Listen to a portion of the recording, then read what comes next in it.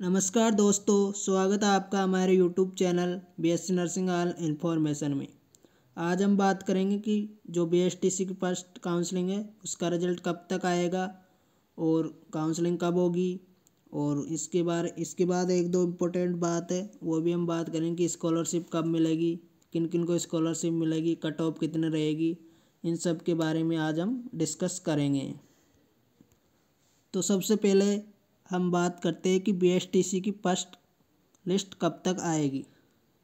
जो first list है, वो इसी वीक में आ जाएगी, शनिवार तक। जहाँ तक जहाँ तक है, शनिवार तक इसी वीक में लिस्ट आ जाएगी। कल भी आ सकती है, परसों भी आ जा, आ जाए, कोई कह नहीं सकते, लेकिन इस वीक में ज़रूर आ जाएगी। आपको कोई दिक्कत लेने की ज़रूरत नहीं है। अब हम दूसरी बात करते हैं कि कट ऑफ़ कितने रहेगी। कट ऑफ़ इसमें थोड़ी हाई रहती है। ओ बी सी वालों ओ बी सी वाल ओ बी सी वालों के लिए चार सौ, जनरल के लिए चार सौ दस तक और एस सी और एस टी वालों के लिए साढ़े तीन सौ से तीन सौ साठ तक रहती है। अब हम बात करेंगे कि कॉलेज वॉलेज कब ओपन होगी। तो अब तक इसके बारे में कोई नोटिफिकेशन नहीं आया कि कॉलेज ओपन होगी।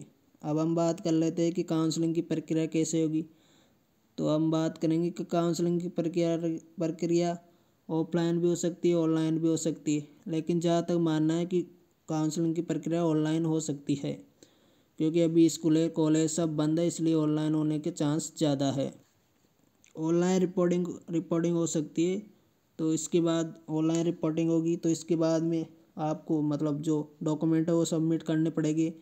जो कॉलेज की वेबसाइट उस पर वो कॉलेज वाले उसे अप्रूव करेंगे, उसके बाद आप आपको फ़ीस देनी होगी, जिस कॉलेज में आपका एडमिशन होगा उसमें कॉलेज में आपको फ़ीस देनी होगी ऑनलाइन।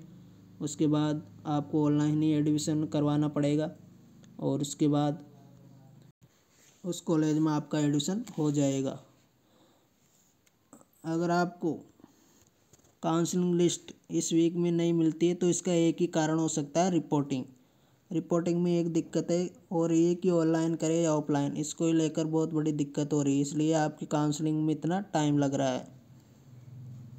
पिछली बार काउंसलिंग की पास्ट पाँच लिस्ट आई थी तो इस बार भी जहाँ तक है, हम पाँच ही लिस्ट आएगी, इसलिए फ़र्स्ट लिस्ट इस वीक में आने के पूरे पूरे चांस है। केवल एक ही वजह हो सकती है नहीं आने का, वह है रिपोर्टिंग का, बस। आप हमारे चैनल को सब्सक्राइब कर लें। जब भी नोटिफिकेशन आएगा, हम आपको इसी चैनल पर बता देंगे। वेबसाइट पर आपको तुरंत नोटिफिकेशन के बारे में बता देंगे।